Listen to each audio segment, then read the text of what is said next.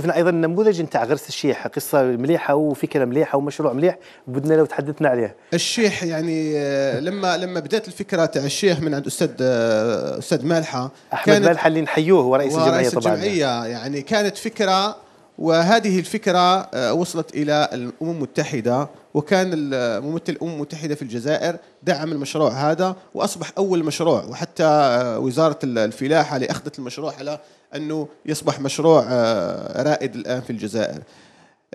إحنا كنا كان أستاذ مالح زار ولايه الجلفة ولقى منطقة من المناطق في ولاية الجلفة كان فيها سيول.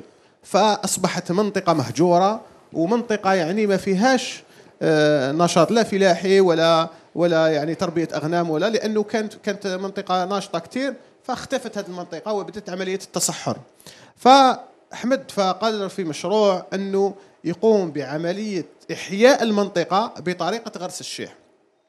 غرسنا أكثر من 300 آه، ألف آه، نبتة تعشيح في مساحة كبيرة جدا و قمنا بتشغيل العائلات الماكيتات النساء الماكيتات بالبيت اللي ما عندهمش مدخول. فخدمناهم الآن أصبح عندهم مدخول من هذه النبتة.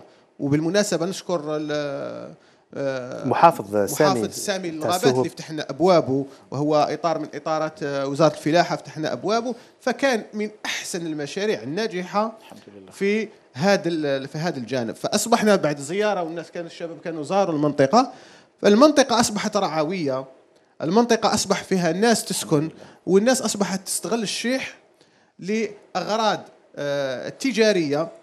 والآن إحنا في صدد تطوير هذا المشروع إلى آه، توسعة هذا هذا الغرس هذا. من أجل العائلات اللي راهم النساء الماكيتات في البيت من استخراج الزيت اللي هو يتباع بال بالآلاف آه، آلاف الأوروات في في اللتر الواحد يعني في في, في الخارج. فنحن ندعم هذه المنطقة.